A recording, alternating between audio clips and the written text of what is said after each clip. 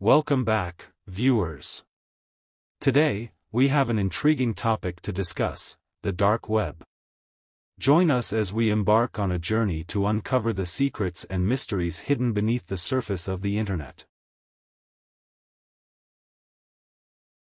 Segment 1 Understanding the Dark Web. H. The dark web refers to a part of the internet that is intentionally hidden and inaccessible through regular search engines. It operates on encrypted networks, such as Tor, which provide anonymity to its users. While it has gained notoriety for illegal activities, it's important to note that the dark web itself is not inherently evil. Segment 2 Accessing the Dark Web.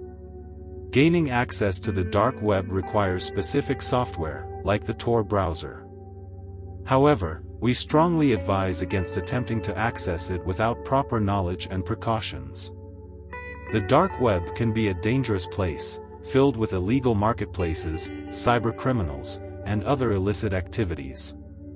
Segment 3 Dark Web Myths versus Reality There are numerous myths surrounding the dark web, so let's debunk a few. Firstly, not everything on the dark web is illegal. Yes, there are black markets and forums for illegal goods, but there are also legitimate uses, such as whistleblowing platforms and privacy-focused communities. Segment 4, Dark Web Services. Now, let's explore some of the services available on the dark web. We'll touch upon topics like anonymous marketplaces, cryptocurrency transactions, hacking tools, and even disturbing content. Remember, these activities are illegal and highly discouraged. Segment 5 Staying Safe Online. As we delve into the dark web, it's crucial to prioritize our safety. Here are some tips to protect yourself while browsing the internet in general. Use strong, unique passwords for each online account. Enable two-factor authentication whenever possible. Keep your devices and software up to date. Be cautious while clicking on suspicious links or downloading files. Use a reliable antivirus program and a VPN, virtual private network, for added security.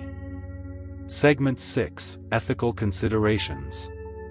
H. It's important to discuss the ethical implications of exploring the dark web. While curiosity may drive us, we must remember that engaging in illegal activities is not only against the law but also morally wrong.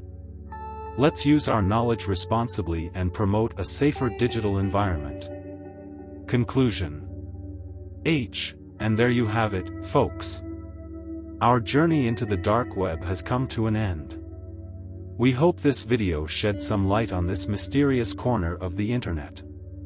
Remember, knowledge is power, but it's our responsibility to use it wisely. Stay safe, stay informed, and until next time, take care. If you found this video informative, don't forget to give it a thumbs up and subscribe to our channel for more intriguing content. As always, feel free to leave your thoughts and questions in the comments section below. Thank you for watching, and see you soon.